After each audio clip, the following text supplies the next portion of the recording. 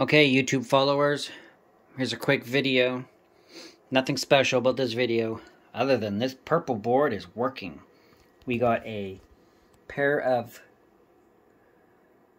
matched JFETs there. Perfectly clean sine wave. Uh, put this back in the DC.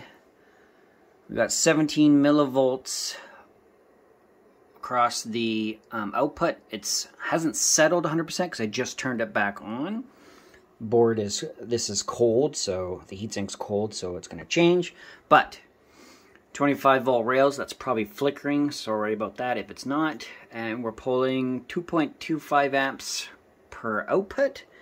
And we're not even at our full um, bias. Right now, we're supposed to be up at about 0.6 volts across our source resistors. So, proof to the concept, they are working.